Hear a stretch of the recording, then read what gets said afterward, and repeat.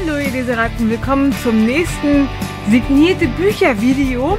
Nach langem mal wieder ein signierte Bücher-Video. Und jetzt ist es wieder an der Zeit, dass ich euch ein paar signierte Bücher zeige.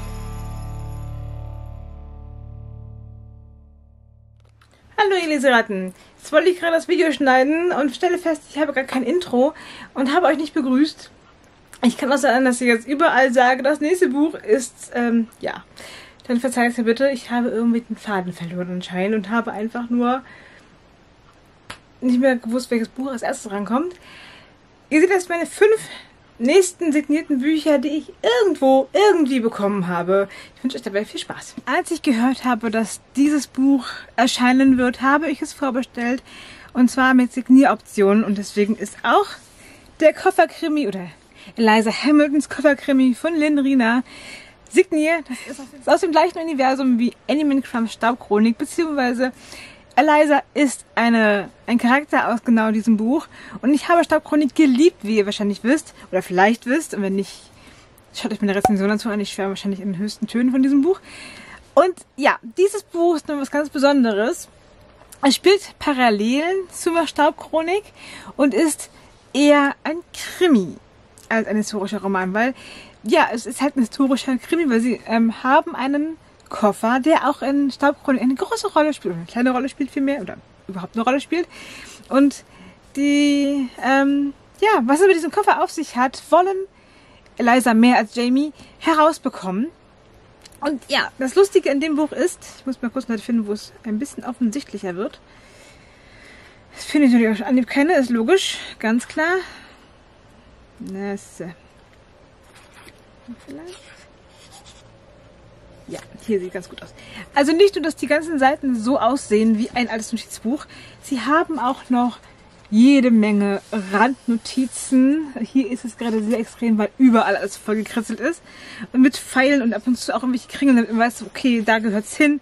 Sterne hier auf der anderen Seite. Und ja, manchen ist es beim Lesefluss immer ein bisschen schwierig gefallen, die Randnotizen zu lesen, dann dazwischen drin. Ich fand es großartig. Ich fand, das hat das Ganze noch ein bisschen aufgelockert, weil das Ganze ein Bericht aus Leisers Sicht ähm, von dem ganzen Fall, zwar in Geschichte erzählt oder in Geschichtenform erzählt, aber eben zwischendurch sagt Jamie so, ähm, da hättest du aber noch mal und das erwähnen können. Und dann antwortet Eliza darauf manchmal auch nochmal.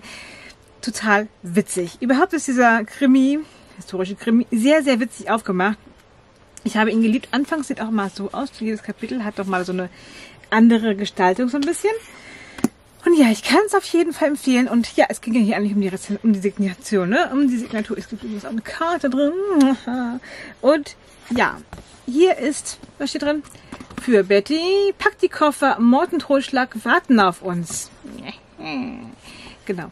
Jetzt habe ich gerade selbst über dieses Buch erzählt, weil jetzt einfach das nächste Buch ist Vindicta.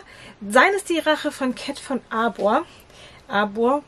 Das Buch habe ich auf der Buch Berlin 2021 geschenkt bekommen, weil die Autorin quasi in unserem Stand war und äh, ja, ihre Sachen da abgelegt hatte, um von da aus die Bücher zu verteilen, weil es irgendwie eine neue Auflage davon geben sollte und sie die alten irgendwie loswerden wollte. Ich glaube, so war das. Jedenfalls ist hier auch noch Werbung von ähm, im anderen Buch drin, ein Adventskalender, was ich sehr interessant finde und noch ein weiteres Kärtchen. Aber wichtig ist natürlich die Signatur. Und zwar, ich wünsche dir schaurig schöne Lesemomente. Das klingt doch schon mal vielversprechend, oder? Ich bin sehr gespannt. Gelesen habe ich es mich noch nicht. Und mich reizt vor allem der Adventskalender. Ne? Aber ja, das ist ein Mystery Thriller, wie hinten drauf steht. Und ja, mehr weiß ich auch nicht. Ebenfalls auf der Buch Berlin im letzten Jahr habe ich den ersten Band von Phoenix gekauft. Asche geboren von Ann-Kathrin Ann. Irgendwie stimme ich jedes Mal über diesen Namen. Ich habe keine Ahnung warum. Es liegt aber auf jeden Fall an mir, das ist schon mal klar. Ja, ähm, der erste war eine Reihe. Und hier steht drauf, für Betty genießt den Flug der Phoenix. Bitte sehr. Auch da bin ich sehr gespannt drauf. Es ist auf jeden Fall was Dystopisches, würde ich mal behaupten.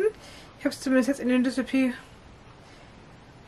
reingepackt, weil natürlich ähm, im Jahre 2033, also auf jeden Fall was mit Zukunft, so ein dystopisches ist ja dahingestellt, auf jeden Fall Zukunftsbücher, äh, ein Zukunftsbuch, deswegen steht das bei mir im Zukunftsregal.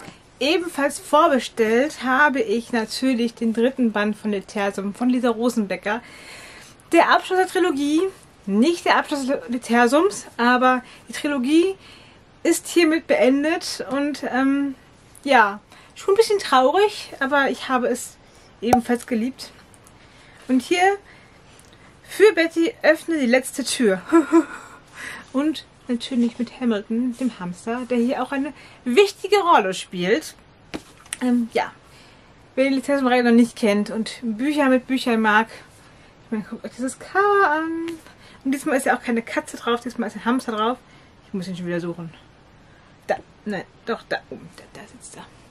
Ganz klein und fein. Noch schwieriger zu erkennen als die Katzen. Aber ja. Mm. Holt euch dieses Buch an, oder diese Reihe vielmehr. Auch wieder von der Buch Berlin mitgenommen habe ich die Todesküsserin von Sandy Messier. Das Buch wollte ich ja 2019 schon kaufen an ihrem Stand. Sie hatte es aber nicht dabei. Aber diesmal schon und diesmal konnte ich es abstauben. Es ist erst bei einer Reihe. Ich glaube, es gibt zwei oder drei Bände. Jetzt bin ich mir gerade nicht ganz sicher. Ähm, ich blende euch hier mal ein, wie viele Bände es gibt. Und ja, für Betty endlich geht es Männern, was? Endlich geht es den Männern an den Kragen. So. Genau. Auch hier ist noch ein Kärtchen bei von dem anderen Buch unter einem Pseudonym. Genau, die Todesküsserin. Bin ich, wie gesagt, auch sehr, sehr gespannt drauf. Freue ich mich ja schon seit mehreren Jahren drauf. Habe ich aber immer noch nicht gelesen. Genauso wie ich das Intro vergessen habe, habe ich euch Verabschiedung vergessen. Von daher wünsche ich euch jetzt einen schönen Tag und bis hoffentlich zum nächsten Mal. Bis dann. Bye, bye.